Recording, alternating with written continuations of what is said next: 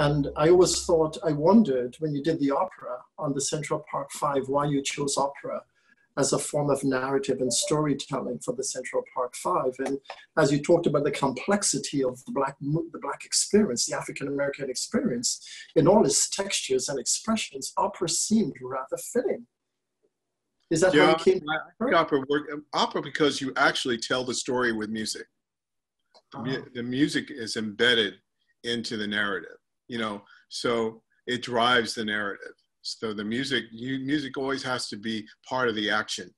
And what I what I don't like about most musicals, you know, there are certainly exceptions, is that the music doesn't necessarily drive the narrative. Music is mm-hmm. more more the in the in the position of static, of the static, of stasis, in which there, there's this, the, you know, the, the characters stop and the action stops and the and the the interaction of the characters kind of comes to a stop and then it, you, you hear the music and then you know you go back into the dialogue.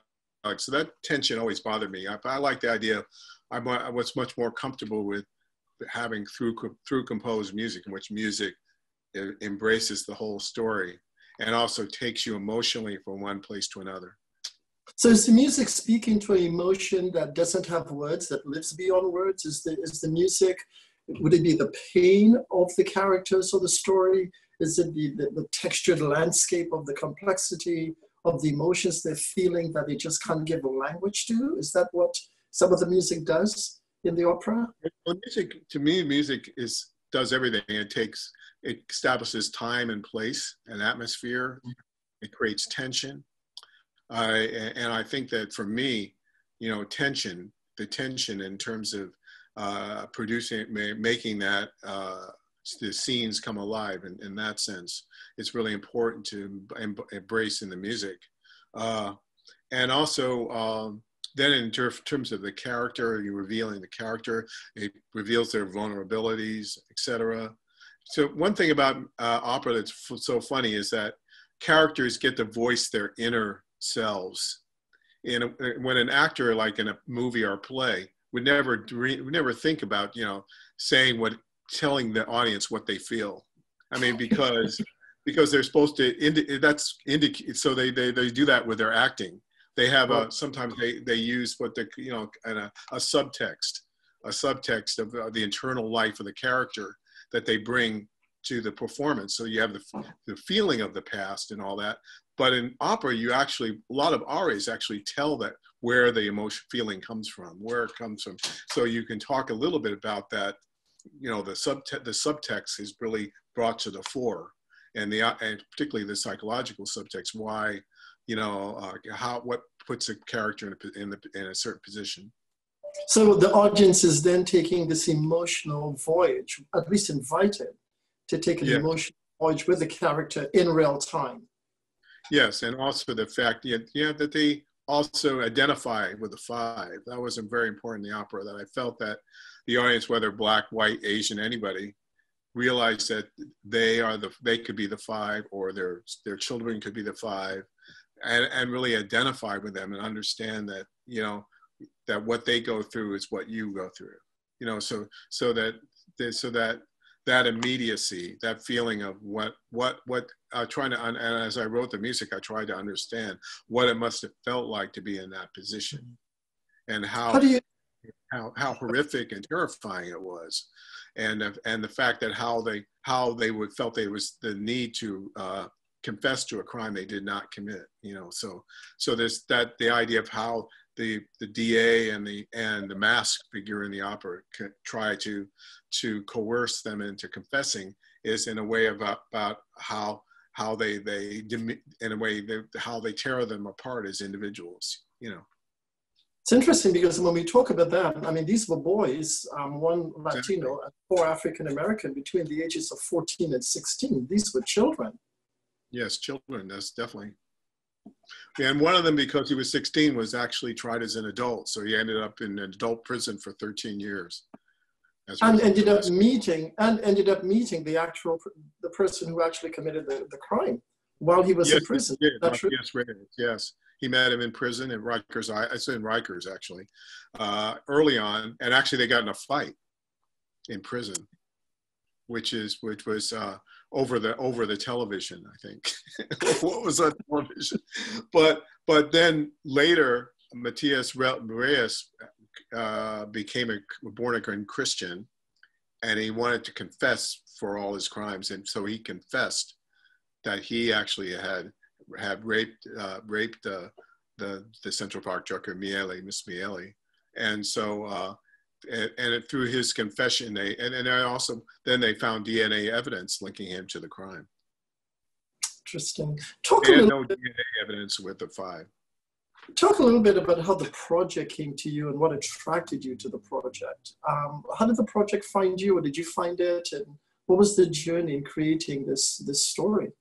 Well, it found me actually because um, uh, Kevin Maynor, who runs his this opera an opera singer who runs the Trilogy Opera Company, uh, sent me a libretto. He said, "Well, could you read this libretto and, and, recommend someone to to write music for this libretto?" And it was a libretto by Richard Wesley, based on the Central Park Five.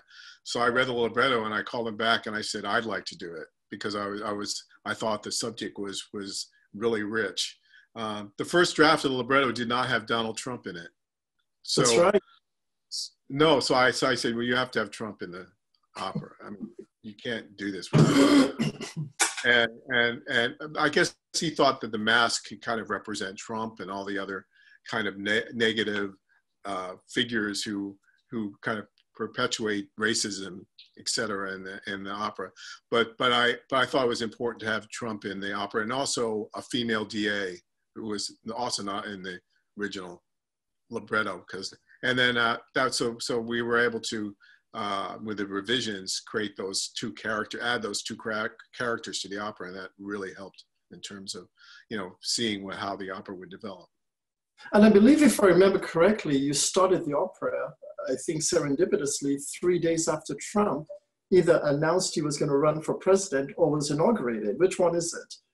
Uh, well well actually the performance of it we did a performance in newark uh, a kind of workshop production of the opera that was done the Friday after the election, 2016, the Friday after the election. So, so we were in rehearsal during the time of the of, on the election day. I was in rehearsal with that opera, and uh, yeah, so Trump's rise happened. I mean, I think I started the opera in 2000. 15, beginning of 2015, I started working on it. So you could see Trump's rise through the whole, it was happening during that, the whole time I was working on the opera. I realized that I'm making the assumption that the audience know the story of the Central Park Five. Can you give us a brief summary of what the story is so the audience can catch up with us a bit for those of them yes. who may yes. not know the woman, Trisha Meili, was, was assaulted and raped in Central Park. Uh, called the, she was called the Central Park Jogger at one point, and uh, a number of of uh, African American and Hispanic youths were had descended into the park. Uh, uh, actually, they just have a good time. Sometimes to do you know like upend trash cans and do kind of mischievous things in the park. Uh, so so the the police were eager to round up yeah, young some young men to that they were going to char to to hold and charge with with the with the crime. And initially, they they held a, number of young men. I mean, uh, initially, I think they had six for a while, and then they allowed one to go. So eventually, they settled on the five, and uh, the five were all accused of, of the of the assault charge and etc. And they were also tried tried in the press. The press was had it was very inflammatory in terms of racial tensions and racial relations in New York. Uh, and Donald Trump actually put a full page ad in, in the Post and the Daily News calling for the return of the death penalty. And he said, support our police, return the death, bring back the, the death penalty. That was the slogan. So uh, Trump, Trump seized upon this, this event to advance his political career, I think. I think the beginning of his political career was with the Central Park Five. By vilifying the, the Central Park Five and demonizing them, he was able to to uh, take advantage of the of the racial tensions in New York and galvanize some of the you know extreme white groups within New York uh, behind him. And it was, and the irony was this all happened in 1989. And 1989 is significant because it also represented the emergence of hip hop into the mainstream culture. So, so when there was, for example, when they, the whole expression they was in the Post and the Daily News, they said "wilding in the park." The, these wilding. wilding. Now, wilding came from a Tone Loc song called "Wild Thing." So they were actually singing. I remember wild, that song. I they were singing. "Wild Thing" when they went into the park. The kids. Yeah. So, so it wasn't wilding; it's "Wild Thing." Wow. So, so um, so the, but wilding became this phenomenon they were taught they talked about you know? And uh, but it was also symbolic of the of of the fear in the, particularly in the white population in new york of hip-hop culture. The hip-hop culture was sort of this idea this fostering rebellion and and violence and it was a threat to particularly a threat to the the uh, real estate ambitions of Donald Trump, who was looking to when you look at the development of the Upper West Side or the West Side in Manhattan, you know all the all the apartment buildings along along the river, et cetera. How important Central Park is in that. You know, it's like the link between the West Side and Harlem. And so, uh, whoops, yeah, yeah. There's this. There's it is. Bring back the bring back our police. And you see the other sign saying "Do the right thing." Right. That's very interesting. Okay, because Spike Lee's movie came out in 1989 so actually, my theory is that when they put these five young men in prison, they were putting Radio Raheem in prison. Can, can you tell so, everyone who Radio Raheem is? Radio Raheem is the character with the boombox.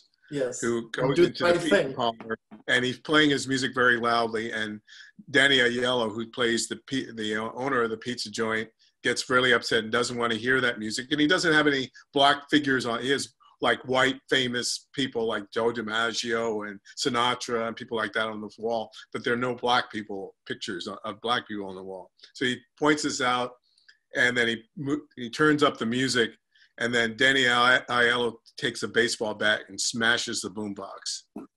So that scene to me and crystallizes a lot of what what I think was going on. This that the the the resent the fear and and antipathy toward this new new music and new culture, hip hop, which is also was per, starting to permeate white culture too, That's right. and white middle America, and so so that so so in a way this violent this act of of finally you know putting these these five young men in prison was a way to uh, to re- rectify and to to uh, uh, submerge the, the the emergence of hip hop.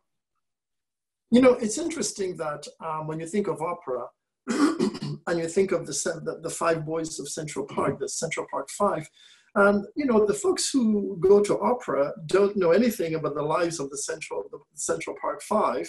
And generally speaking, the boys of Central Park Five know nothing about opera. So essentially, you've converged two worlds to come into a theater to sit and watch the experience side by side with each other. What was that like, and what were you hoping they collectively would walk away from the theater with with. What what behavior or information did you want those two worlds to converge and to walk away with? That's a very interesting question. I think that one, one of the things was in the audience at long beach was uh, there are many people who came to the opera because of the central park five the subject matter who had never seen an opera including people. I had a number of young men who were had been incarcerated and falsely accused of a crime who were in jail and and they came to the opera and there, for them it was a very emotional experience. Uh, and then you know I had, I had I, so I, I think the mixture of the opera audience looking at a, the subject matter that they wouldn't usually see in an opera and then the the large audience that would never go to an opera who, who seeing an opera for the first time. And I think that, that that's, that's, that's wonderful to me because in a way they're both having novel experiences. They were having, you know, this an experience they hadn't had before, taken out of, you know, the opera crowd being confronted with, with uh, issues and, and, asked to empathize with with someone that they may not may not normally feel you know normally empathize with and then the audience of uh, of the of the people who came for the story re- realizing the you know hearing music that they may not have heard before but also an extent the music also also drew upon you know the the African American tradition in different ways so they they heard for example I did a when they were going into the park I wrote a parody of uh, a P-Funk song, which was uh, "Bringing the Funk." Who's got the funk? Yeah, yeah. The, the, so, is, that is, that way, is that Parliament? Huh? Is that Parliament? Yeah, funk, uh, yeah, Parliament Funkadelic. Yeah, George Clinton. So I thought I thought of using that because how hip hop always borrows. I mean, they're sampling music all the time, so they sample. You know, particularly R&B from the 70s is, is ripe for it. They, they do that all the time. So so and so I, I brought so I bringing that in that you know that suggestion of that song. But I but rather than sampling, I used I write parody. so so so so the so the idea is that that so uh, going into the park was that that in a way that excitement, youthful excitement and naive, youthful and naive, excited, and the innocence, the innocence of realizing their sexuality, who they are, you know, trying to, get, you know, get in, go in the park, and you know, there's kind of exuberance that that's crushed, that's crushed when when this awful thing happened, and then also with the police response. So that's, I think that's that's uh, that was very interesting to me. And that's an innocence that never can be recovered. That's an incident. That's an innocence that no, can never be retrieved. And they always talk. All the five talk about the loss of innocence. Yeah. That, that they lost their lost their childhood, lost their youth, and and uh, Shron, I have an aria was Sharon Salaam talks about that, uh, and then also Korey's aria at the at the end of uh, in, in Act Three, and uh, actually addresses that too.